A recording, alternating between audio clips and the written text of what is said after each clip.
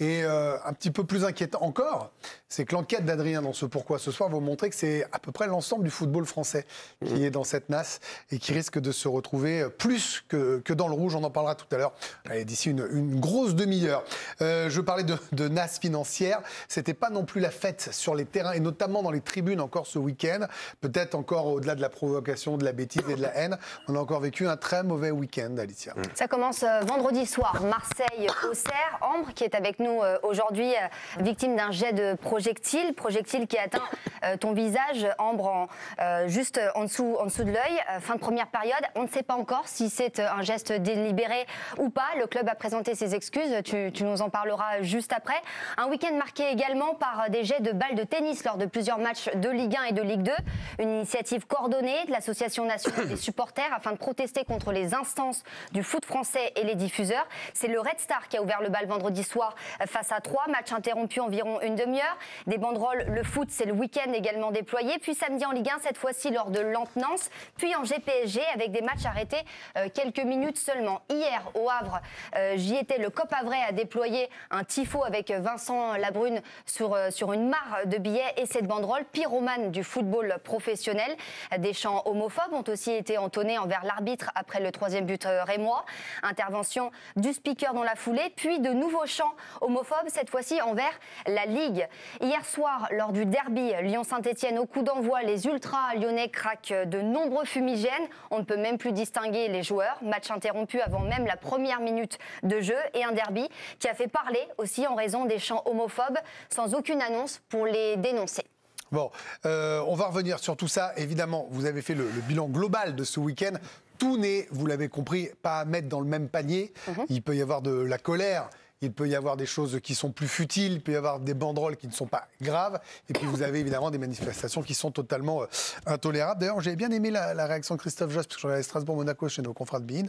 Il a été plutôt bon quand il a expliqué euh, ce qu'apportait Bein euh, au football français. Je trouve qu'il l'a dit d'une manière avec beaucoup, de, beaucoup de sérieux et, et beaucoup de, bah voilà, de lucidité. Giovanni Castaldi, vous étiez au match hier, ce Lyon-Saint-Etienne, ce derby dont on avait beaucoup parlé. Évidemment, on s'attendait, les fumigènes, c'est une chose. On le sait dans le foot français, voilà, c'est interdit. Euh, donc ils seront sanctionnés, on l'a bien compris, ça va retarder. À la limite, là, vous voyez, le terme de folklore, euh, tant que c'est pas envoyé sur des, gamins ou d'autres supporters, je peux le comprendre, même si, je le répète, c'est interdit dans un stade. Mais vous avez assisté à ces chants homophobes et Alicia parlait d'a- d'absence d'annonce du speaker, par exemple, alors que ça fait quand même des années, et plus particulièrement 15 jours, 3 semaines, qu'on est à peu près toutes les deux émissions dessus, là. hein. Oui, Greg, c'est ça qui est euh, assez euh, incompréhensible. Alors, il n'y en a pas eu que un ou deux. Je crois que Ambre était là euh, également au stade. Elle pourra témoigner. Honnêtement, ils y sont allés de, de cœur joie. Les Lyonnais, honnêtement, je l'ai ressenti comme une forme de provocation envers la Ligue plus que des insultes envers les, les Stéphanois. C'est ça qui était encore plus gênant. Je pense qu'il y a eu sept ou huit chants à caractère homophobe.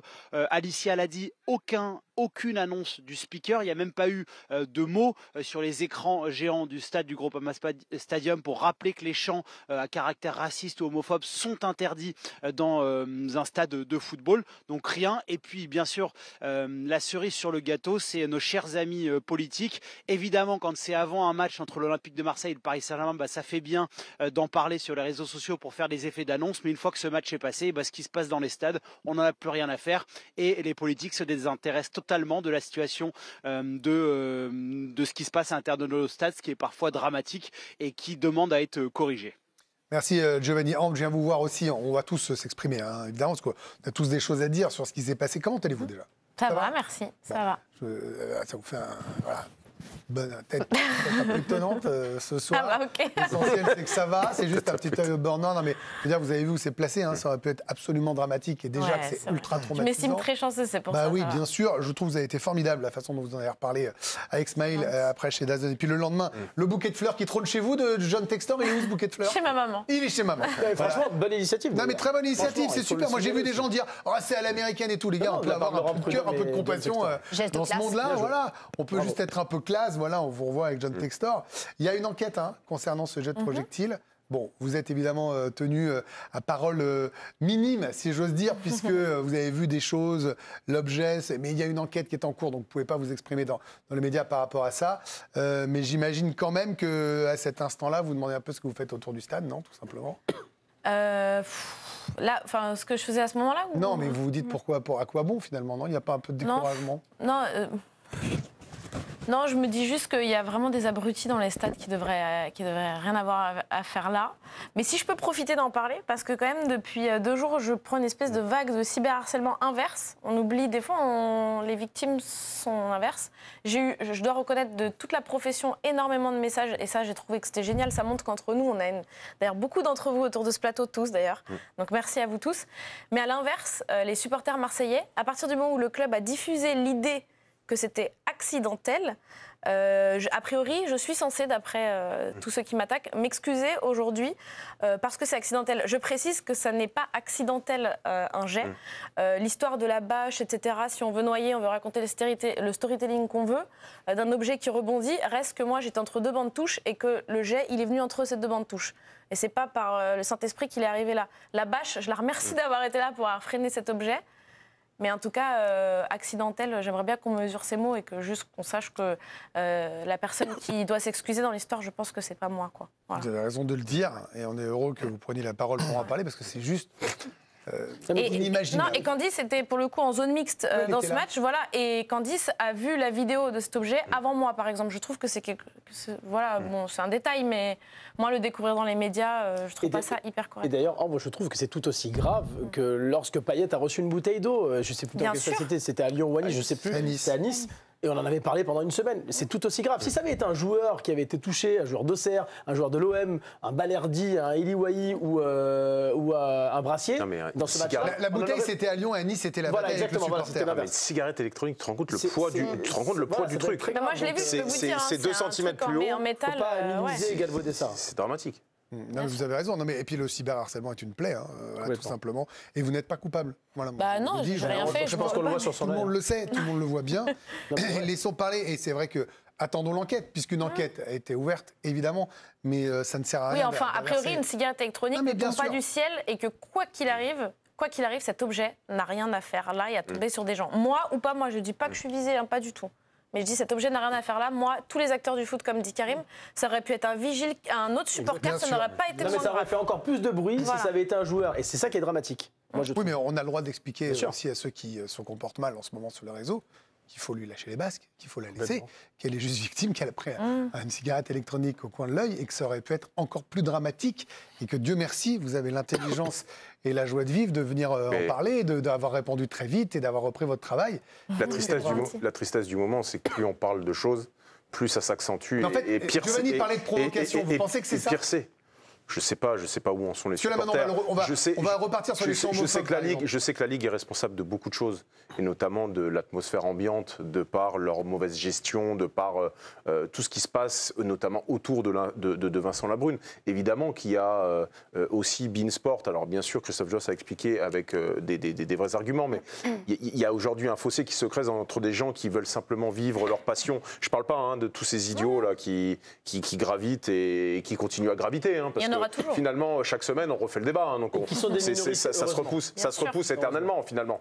Euh, euh, mais il y a des gens qui aiment le foot et qui peuvent pas voir le foot comme ils aimeraient le, le, le- le- le voir et ça crée et ça crée d'énormes tensions. On a presque ramené on a presque ramené foot. à la table. On les a forcés à revenir pour essayer d'aider le football français qui vit au-dessus de ses moyens. Enfin, bon, c'est un cycle. hein, c'est, ça va bien plus loin Mais, que. mais si on va au-delà du voilà. diffuseur, parce qu'effectivement, vous avez raison de le rappeler, ça c'est. La on va machine, pouvoir elle en est- parler. euh, elle est grippée. Voilà, pendant longtemps. Mais sur, sur les, les- les chants euh, homophobes, par exemple, Giovanni parlait de provocation, je reviens là-dessus.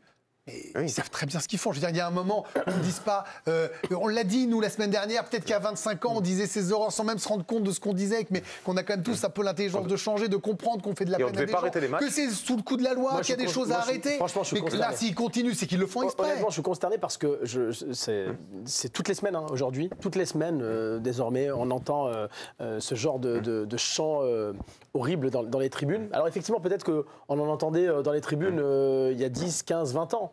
Euh, ça n'avait pas la même portée parce qu'il n'y avait pas les réseaux sociaux, parce que peut-être on en parlait moins en télé. Là, on en parle et heureusement. Effectivement, Giovanni l'a l'a un tout petit peu abordé.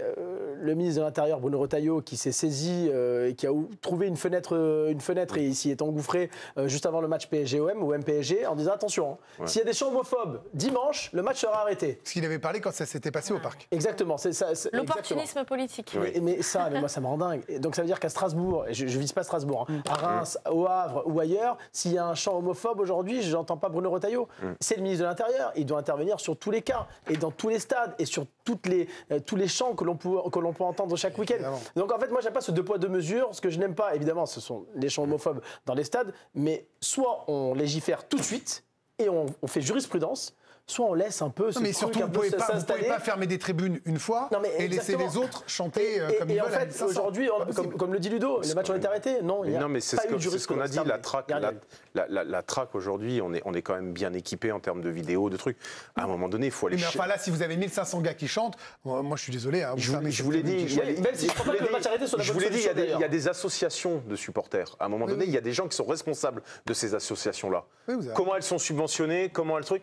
À un moment donné, il faut peut-être arrêter avec ça. Il faut prendre ça à bras le corps. Be- Benoît, un mot aussi. euh, moi, j'étais speaker quand vous jouiez, euh, toutes ces choses-là. Je sais comment ça marche. Vous pouvez préparer un des textes. hein. Vous pouvez avoir Mmh. un mot euh, pour dire il va se passer. Je suis désolé, à Lyon, euh, s'ils voulaient savoir comment on faisait, ils peuvent le faire dans la Ce qui seconde. s'est passé au Havre hier. Et au Havre, Ouais, personne n'a pas- Au Havre, ils l'ont dit. ils le font pas. C'est pas possible de ne pas être réactif. C'est pas possible. Le problème, Et là, c'est pas une histoire politique. hein. Non, non, Le problème, c'est que, oui, effectivement, euh, au niveau de la politique, ils en ont parlé euh, pour le Classico. Après, plus rien. Et euh, ils avaient promis, oui, s'il y a des chants homophobes, on arrêtera. Mm. Et finalement, Ce qui est une il mauvaise se- solution, d'ailleurs. rien. Et comme il se passe rien, ben, qu'est-ce qu'ils se disent les supporters?